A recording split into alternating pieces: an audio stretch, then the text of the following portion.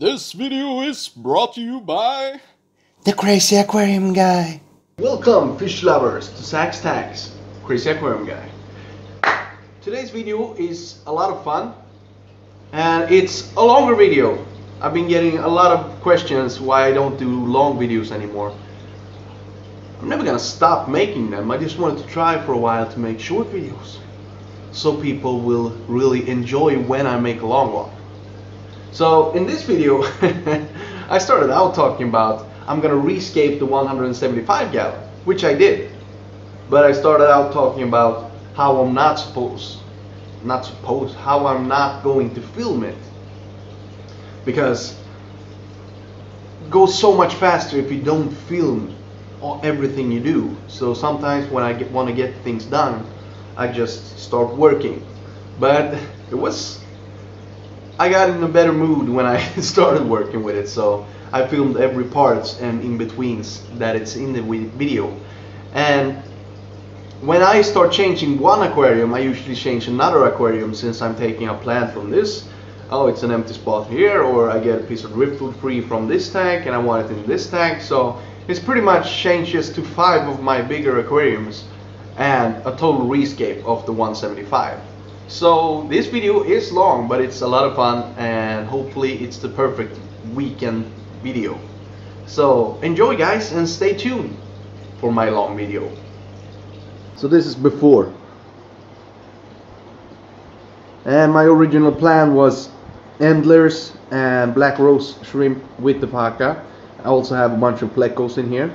So I wanted to make that um, make a big pile of dragonstone so the plecos can hide and the shrimp can hide and a piece of log or driftwood back there so the plecos can hide there from the Fahaka if he starts to get hungry at night and tries to eat them. But I lost focus on the big guy or the big girl, Miss Sunshine. The main reason why I bought this custom made 175 gallon aquarium. So the shrimp can live in here if they can live in here in the new scape. And same thing with the endlers. I'm gonna focus on my Fahaka and she is a poop machine so I want a much cleaner scape so the filters can pick up all the debris that is building up in this tank. So we're gonna totally change this tank. So I am tearing the tank in the hallway down. You can see those amazing plecos. They're a little bit panicked of course because you're moving everything. I have four of those and they are all fully grown. So I am going to do a simple scape and just keep these plecos. I moved the bristle nose as well. Just have four plecos alone and see if they will breed for me. Uh, that's what you, what you should do when you're breeding plecos. I just can't do that when I'm waiting for them to grow up. Just keep a tank with plecos because these L plecos are gonna hide a lot and then you have an empty looking tank. But I was going through all the plants and all the rocks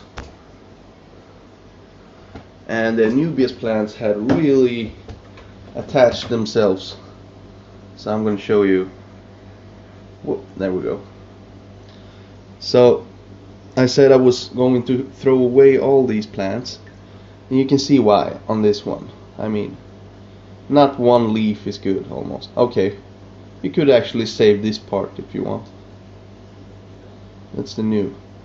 But is go this is going to my giant ram's horns as food now it seems like a shame with that rhizome, but if all the plants are bad, I mean, I can't trim them off and then put them in again because through the plants is how they get their nutrients. So they're not going to grow anyway unless I want to keep them ugly. And I don't want that. So here we have another one. Same thing not even one good looking leaf so bin that and then we have this one that's kind of in between. it almost good, looks good enough. And look at this. I mean, Anubias grow super slow. I might try to cut, trim away.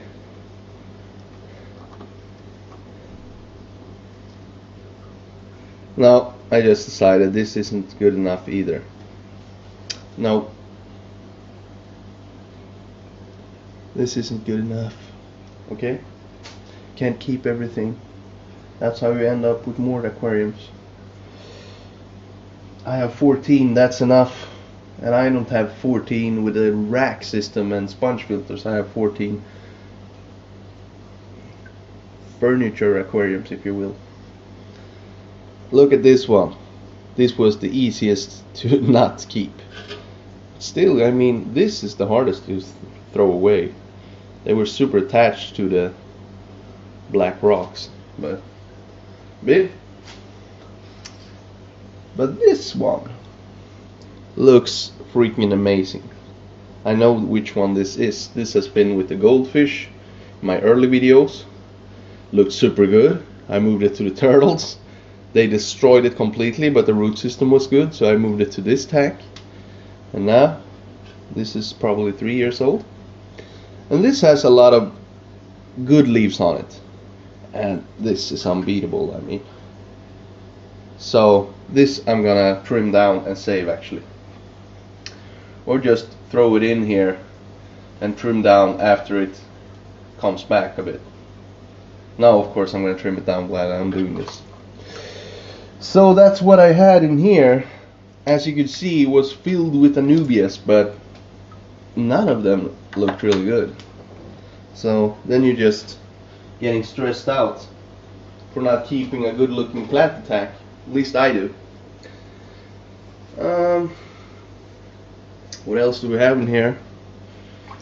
We have more things. We have Microsorum Windelov. This looks pretty good. I'm gonna save this. And we have another piece that looks good also. So we're gonna save those. I'm just showing you things while I work here. I'm not sure if you're really interested. So again, I almost didn't show you guys because I wanted to get things done. Cable ties zip ties. Drop them in the tank. No. So this was the Anubias that I choose to keep. And I trimmed the roots and just trimmed the, the leaves that I didn't like right here. So it's as simple as that. Could have trimmed off more, but I really think I'm gonna attach this one to this pleco cave and then I can lift out the pleco cave and trim it again because if you trim it too hard at once it can really go back from that and have a hard time coming back I mean. So now we're gonna attach this like so and that's why I need these long cable ties because I want to go through the rhizome and around the pleco cave. Because not only can you lift them out, which is the biggest benefit in my opinion, but you can also you don't you also don't disrupt it when you when you are doing that because it's it's taking nutrients from the water column not not from the gravel. So you can lift it out trim it put it back in and don't do it too hard. Just so it stays in the same place and even if it tips over on land it's not gonna do that underwater I really don't need to put two cable ties but I'm gonna do that since I want this to stay in position no matter what.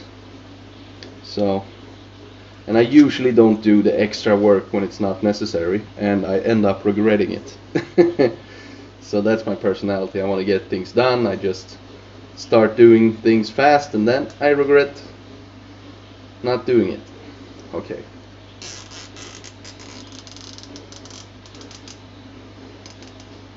So I'm before you put them on too tight, make sure it is in the position that you want it.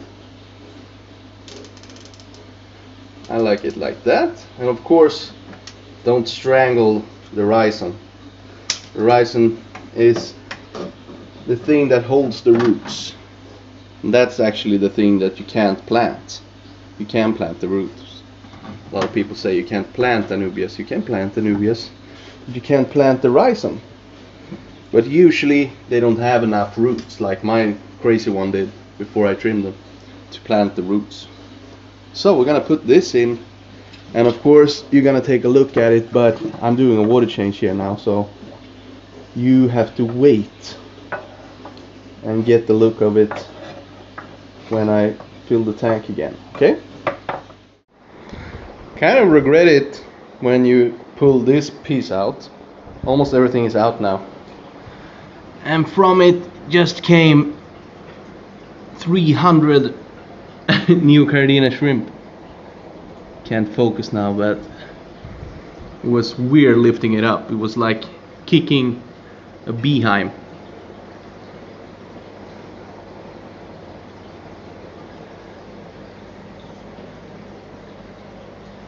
So of course we need something for these ones to hide in.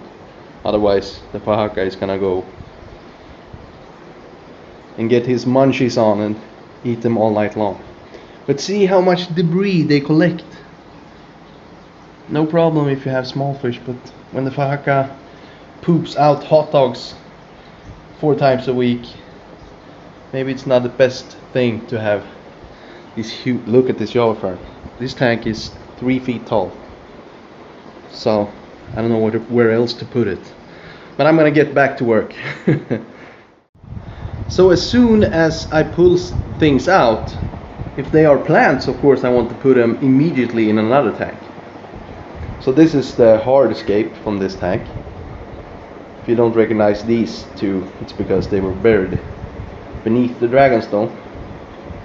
And I showed you the huge piece, but I didn't show you that I emptied this tank before I moved the guppies, and these are the other two that were in that tank. So now this tank is full, even though it was empty before I put in three microsorums. That one, that one, and that one. It looks pretty good. Not too upset about this tank, although I have plants on the way that I wanted to use in this tank, and now we're gonna roll with this instead. And I had to put took out I took out some Mopani driftwood to put the big boy in here. And we'll see how it goes, but better to put it in here than to put it with the turtles, and those were the only two places that I have space left. This tank doesn't look good anyway, so just put in this microsorum. This is the microsorum that's having most problems with algae. But as you can see on that plant, this tank is just plecos and endlers. Alright, this video is on Patreon about this tank, that's why you haven't seen it in a while. But back to work on the other tank though. I also threw in threw in more Anubias on over there. People might look at this aquarium and think, man, he doesn't do his water changes. I can see that. No, no. Yesterday, 90%. I do 90% every five to seven days. This is the debris that was caught between those plants. I think I will keep the cryptocoryne plants. I really love them and they grow slow and everything, and I still have this huge piece to do something different with. But I'm not sure. I'm gonna do a big water change first because I can't look at this. This looks terrible. My biggest aquarium looks like shit. That's not feeling very good right now, but I can fix it. I know I can fix it. So I will get back to work. Now it looks like this. Still a lot of debris. I changed 90%. Tried to vacuum out as much as I could, but it's super messy in the water column. Especially for being one of my aquariums. I had to throw in a bunch of ram's horns. Giant ram's horns. Because now the plecos and the sh- uh, shrimp can't hide. And when they can't hide, he gets curious. And he gets too curious for my tastes. So I think I will take more cryptocoryne plants from another tank and put in. So see you guys when I've done that. I took it out again. I just left the Microsorum Trident. Um, that's just Catappa leaves that I put in today. Just to try if I see any different behavior, behavior from the plecos. Uh, I have plants arriving tomorrow for this tank, so I couldn't just throw in throw in uh, Microsorum and be done with this tank when I have plants coming tomorrow that in my opinion will be perfect for this tank. Um, for the, what I have planned at least. So that's why. But I did do a nice save uh, because I needed those Microsorum in another tank so it actually turned out pretty good. I'm gonna show you. So I went against my gut feeling and took out a lot of the cryptocoryne from this side a lot. Took that and used it for the Fahaka tank and then this whole base here was empty completely empty. And then I just took that microsorum goes back there and all the way here. I used to have it like that then I laid it down on the bottom. And this is the second biggest piece from the Park tank. And back there is the small piece. So it turned out pretty good. They are super scared of course because I hadn't put my hands in this tank for a long time. It looks good. I mean it looked better with all that cryptocoryne of course but uh, if I want to save plants, I need space for my big tanks. If I take something out from a big aquarium, I need to put something big in the big aquarium. So, yeah, I'm happy with it. I'm gonna show you what I did in the kitchen with the biggest microsorum, and then I'm gonna show you the scape Fahaka has. And after that, even though this video is getting super long, after that I'm gonna wait till tomorrow and then plant the cube in the kitchen. No, not in the kitchen, in the hallway. It's always like that because I have plants. If I remove a plant, I put it in another tank, and maybe I take a plant from another tank, and I start working with a lot of aquariums at the same time. The, the, the Mopani driftwood that I took out from the kitchen to get the microsorum in Boom. I wanted more Mopani driftwood. I'm gonna take that piece out, I think. Because I don't like it when I mix driftwood. Looks so much better when they match. So the that one, that one, that one was in the kitchen. Now I can have them with my beautiful huge Mopani driftwood piece. Uh, yeah, so let's go to the kitchen and take a look at the biggest microsorum before we look at the Fahaka attack.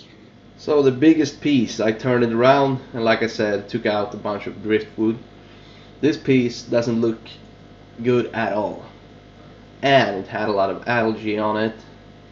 So this is my only tank where I have a lot of hair algae right now. So I didn't want to spread it to another tank, so the big piece, perfect to put in this tank the tank that I I'm supposed to not care about but it does bother me that it looks like this. But it shouldn't. I really should shouldn't give a shit about this tank and just feed the Endler babies and feed the plecos and just wait. But we'll see. It looks better than before. I mean, threw in if you threw in a big piece of driftwood with huge microsorum on it or java fern it will instantly look better at least. So yeah. But now we can go and take a look at the Fahaka tank finally. And all the spare pieces I get I put in with the snails and they love to eat it. So this snail is something for you who have a lot of planted aquariums and puffers because you're always gonna get those trimmings and these guys eat they eat plants like crazy. Like if I put in a big plant and I come back two hours later 40 snails are on the plant. So it's not like some snails that will eat algae and plants. These snails has plants as their main diet Okay, let's go to the Fahaka. This isn't the best scape by any means. It won't win any awards or anything. But the Fahaka is so much happier. At least it seems like that. She uses the space and swims around more. And that, to me, that's a sign that she's happy. And I started out getting a custom-made 175 gallon aquarium gallon gallon aquarium to keep my Fahaka puffer in a good home. And uh, felt like I was tuning away from that with that huge pile of rocks. It looked pretty good but that was only for the black rose shrimp. And she's been eating black rose shrimp like crazy now. So that's a bummer but you need to stay focused. I mean, like I said, I got the aquarium for her. So she should be my main concern. And she is. And this simple scape, of course, I took the huge uh, plants. And they don't look huge in this tank, but remember this tank is three feet tall. Three feet tall. So it's a pretty big tank. Mm. Yeah, she's beautiful in it and she get her space now. And she will get bigger than this, so. And because I have a limited amount of space, I can't buy another bigger aquarium. So I'm happy with the simple scape. I did want a bigger piece of driftwood here, of course, but it's really hard to come by. You need to special order one and then you really need to buy like four because some of them are gonna be long branches, some of them are gonna be thick big pieces, but you never know what you will get. So this will work for now. This is of course a big risk and she will end up she could end up eating all the tank mates now when none of them can hide at all from her. She's a bit feisty. She wants her food. I'm not gonna give it to her. She's been a bit cranky and waiting for the shells to open and then eat them. So then I just don't feed her for a while and she gets more hungry and attack them and bite through the shells, which is the purpose of giving her clamps. So this is the scape for now. Like I said, I'm gonna search for a big piece of driftwood and put it in there so it looks more natural. But for now, this simple scape with a lot of space for her is my new thing with this tank. So simple scape. So before we end the video, I'm gonna show you the tank in the hallway. Uh, it's not looking super good or anything, but it's a new scape and I want to get it in this video because we have several other shots of that tank in this video. So let's go to that aquarium. Actually, we can do old school style and go to the aquarium. A lot of guys has been with my channel for a long while complaining that I don't do this anymore. Just take the camera and go with. So that Microsorum, the Trident, it stayed, and otherwise it's pretty much empty. But Pogostemon erectus, these were supposed to, in five days, they should have grown to like this, so you can get imagine this green field here. But the plecos at night started to lay on top of them and then whisk them up like this. so they pretty much hate them. So I had to take some cable ties through some ceramic rings and push them down. And of course, during a week of just replanting, replanting, I lost a lot of the plants due to they break down and go into the filter. So, but it's gonna look cool, simple but cool because I want to enjoy my stripe plecos. I'm gonna take this off the tripod. So now I can see into, I don't know if you can, but I can. We have one pleco there, one pleco in there. They're fully grown now. One pleco in there. L15. Uh, we have some cool little oches in here. See if we can see them. Yep, there's one of them. And the other guy usually hangs out back here. I don't know. I have four of the Brucellosis. No, of the L15 Pleco. And I hope they will breed for me. And of course, a few Guppy Fry is left. They can they can grow up in here instead. Maybe we get some cool colors and continue with more guppies in this tank. And but I think I will move them because I really want to try to breed those L15.